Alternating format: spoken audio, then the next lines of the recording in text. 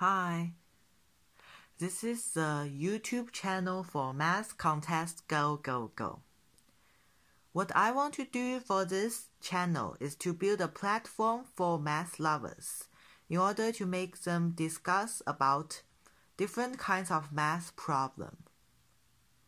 I will update a video about challenging problems every day. If you would like, please subscribe below. Hello everyone, this is the North American Math Contest Go Go Go. This week we are going to estimate AMC 10A score by hand. So, this is the estimated score which the average should be lower and the AIME and DHR should be a bit higher, while DHR should be much higher I think. So let's now give our explanation.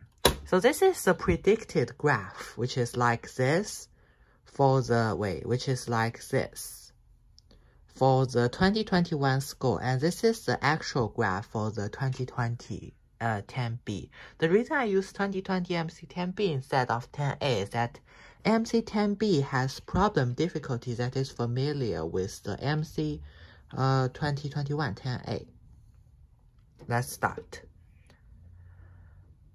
So, let's start with some key points. Key point one. There will be a certain percentage of people who get disqualified due to technical reasons.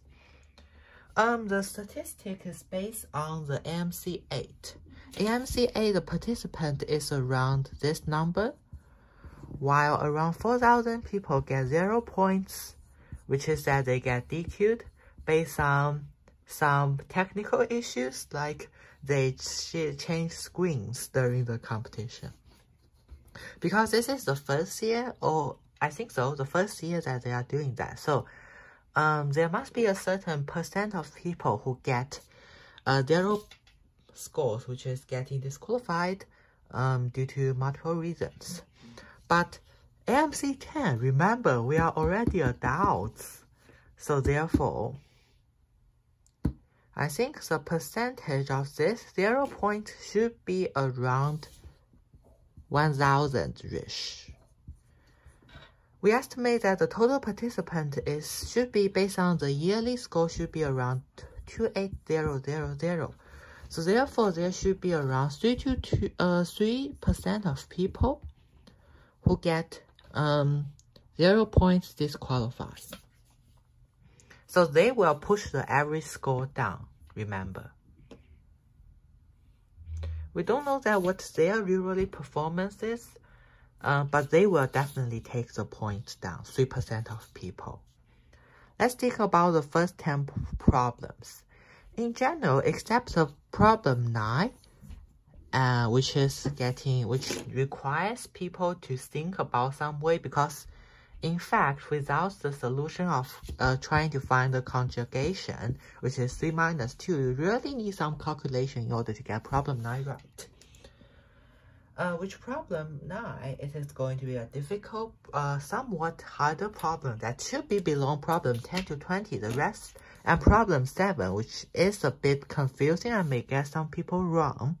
The rest of the problem should all be simple. So therefore, for the first 10 problem, most of the people should get 9%, uh, not, problem 9, 9 of them correct. So therefore, most people would expect it to get 54 points on the first part. Based on the last year's status, so which is higher than the last year. So therefore, I think the graph should be a bit translated to the right. The graph should be a bit translated uh, compared to the last year for the lowest, uh, lower performance students, which is the bottom 25%. Uh, the last year, the lower students cutoff was 50. So this year should be around 44, 54 to 55. Uh, which should be a bit lower, which is around 54-ish. You might ask me, yes, So this is 54% of people right. But why you estimate the average just a bit higher than the this? Because don't forget there are people who get disqualified and people who get low marks, right? So therefore, based on this, I would uh, trying to estimate this year's average lower, which is around 58, but not less, more than 60. Now let's continue to talk about the 10 problems. Uh, for the last 15 problems, it all depends on people's choice, uh, people's performance. Um, the 15 problems, they almost have the same, uh, the identical difficulty because most of them are requires you to think for multiple minutes and uh, calculate for some while. So, in fact, we can say that if it gives you infinite number of times, if we give you infinite number of times, you definitely can get all 15 problems correct. But MC is a time thing, which they only allow you 75 minutes, I think so. Therefore, I think most people who perform on the last year will be the same as this year. Like most normal students like me who perform uh, the score on the last year should be similar to this year because last year is also a bit similar except the last five problem is a bit harder than much harder than this year's AMC 10A. So for the middle 10 problems, people who expected to score like a certain score on the last year should be similar for this year. Um,